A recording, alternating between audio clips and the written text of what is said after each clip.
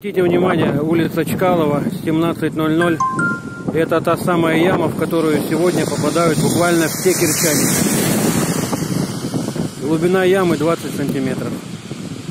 Вот так вот работают наши коммунальщики. Буквально утром она еще была маленькая. Вот буквально попала машина только что. Только что. Утром она еще была маленькая, вот буквально к вечеру ее так разбила, видите?